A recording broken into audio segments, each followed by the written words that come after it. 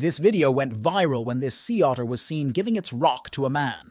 This isn't just any rock. For sea otters, it's a vital tool, a key to survival in their aquatic world. They use these rocks to crack open shellfish, their primary food source.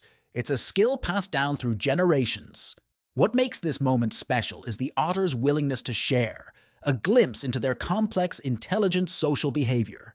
By giving the rock, the otter extends an invitation into their world, a sign of trust and curiosity.